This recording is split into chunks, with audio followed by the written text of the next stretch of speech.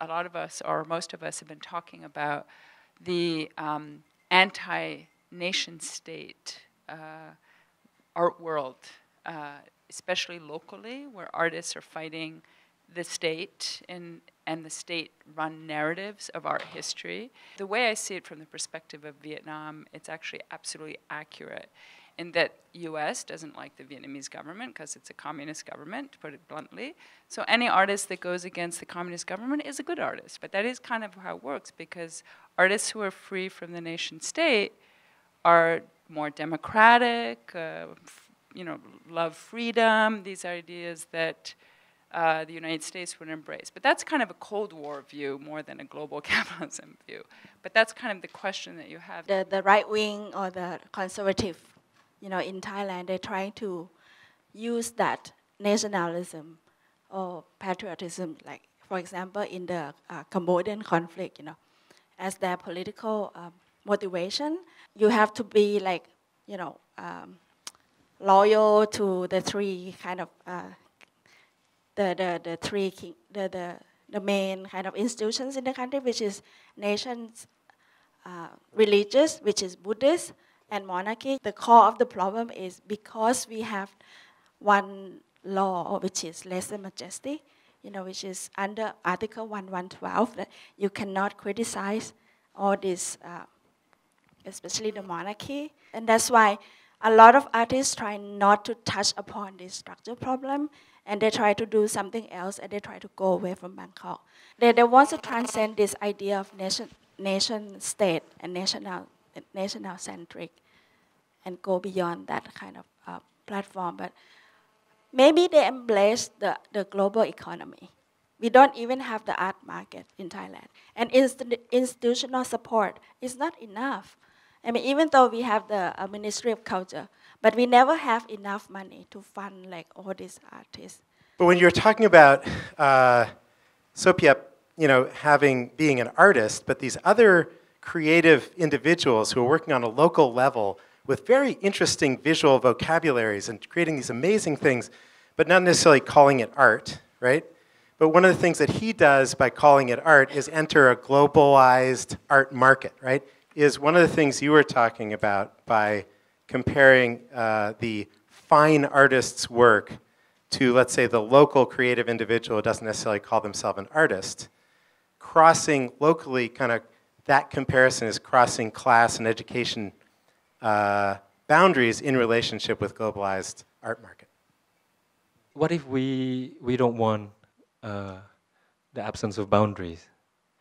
What if uh, localities that you describe are as important or more important than this general trend to abolish boundaries. What if we say, no, no, we want countries, no, we want localities? In a situation like this, how would you then um, achieve that without taking the route of exoticism? Uh, I don't or know. nostalgia. In the case of Cambodia, there can't be nostalgia because they are living practices. We, only romanticize or exoticize it when we decide that it's dead. So no, uh, for me, no problem of exoticizing. Exoticizing if you start to maybe convey it into a different platform. Sri Lanka is not a peripheral country in South Asia. Did I exoticize what was going on there? Was I nostalgic? Am I biased? Yes. Am I subjective? Of course. But those are my only ways of communicating with an audience, whoever you are, about what's going on in this country. And there's one exhibition that happened um, which looked at the subcontinent um, and it looked at photography. And it was a really um, paradigmatic show in that it was looking at history. But on the curatorial and the art historical side of it, in the world history of photography, there's one photographer from Sri Lanka who should have been in that show. He was a contemporary of Man Ray. He died in 1942. His name is Lionel Wendt. He was one of the first people to experiment with solarization. He wrote the first article on solarization in the Leica Camera magazine. So, as a, as a point of art history, why was he omitted from the show? It would be like a European show on the history of photography, um, obviously omitting Man Ray because they didn't want to include France. the celebration of, of the deterritorialized um, can be an exceedingly privileged discourse, and there's plenty of people who can't engage with that discourse. Um, and it seemed to me that a lot of the questions that you were bringing up with Sri Lanka have to do with that, what you've just described, first of all, um, but also the, the question of the, the contemporary violence or recent violence um, means that a whole bunch of people are tied to specific parts of um, territory and they just can't get out of there. Come back to what Daravuth was saying, um, that, you know, what's, what's the matter with belonging? Certainly the nation state exploitation thereof is problematic. Um, certainly violence in the name of belonging is what we know as the most, um, most frequent outcome of an embrace of belonging. Um, but throwing out the baby with the bathwater is maybe something to think about. In relation to Daravuth's talk about this alternative narrative, it's very important within the countries that um, certainly in Vietnam, there's not enough voice given to alternative stories of the war. Instead, it's a moment and it's past, and now let's move on to something else, and that something else is globalism, and let's just shove the rest under the rug. And it's very important to allow those histories to be revisited and talked about and rediscussed and so forth. So I know it's similar in Cambodia, but um, that is where discourses of time and place have to be revisited constantly in a way.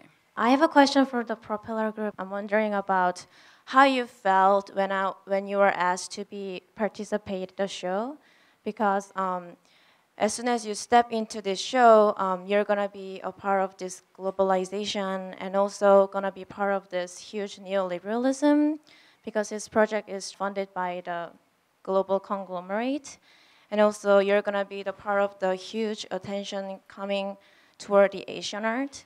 So I'm wondering about how you would position yourself in all these situations in relation to Vietnamese audience or American audience and also so-called global audience?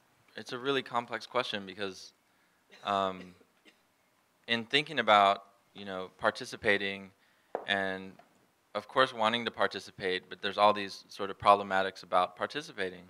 Um, and how does one negotiate that? And do you not play? Do you not participate? Do you try to engage in a different way? Um, so we, we had those discussions, but of course we realized that it was important to participate and acknowledge and, and understand and sort of try to make, uh, make a different kind of, or er, approach things a little differently from the inside. And I think we, we all feel that we don't want to be identified in, by a specific region, which is, is interesting in this discussion of, you know, embracing country or embracing a locale or, and there's nothing wrong with that. As I think there's nothing wrong to the issue of belonging.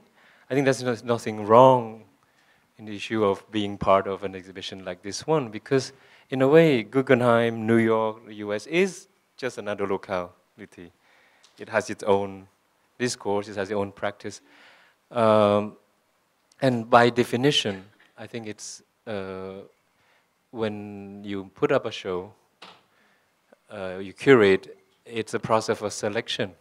So for me, it's not just a matter of whether Sri Lankan artists would be part of that or Cambodian or not. It's not an issue because, again, ultimately you can't include everyone. It cannot be exhaustive.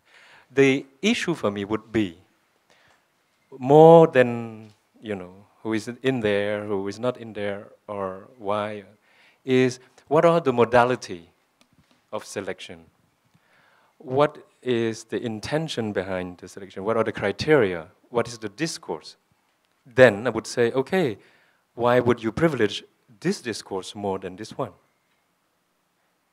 Because it, it might be true uh, that the selection process can privilege a certain discourse, a certain type of production, certain type of artist more than others. It's like there are forms of practice out there that you not are not you are not necessarily equipped to look at, and this is where there is an investigation from your side to how how and what type of work are you going to have to develop in order to be able to embrace, to be equipped, to integrate a multiple form of expressions that will enrich your initiative?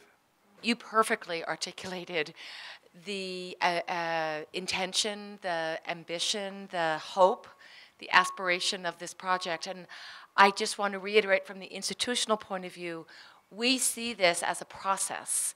This iteration is this iteration. But we are the, building a network, and that's what this conversation is also about, so that other curators in the future will come to Sri Lanka, move to Sri Lanka, move in with you.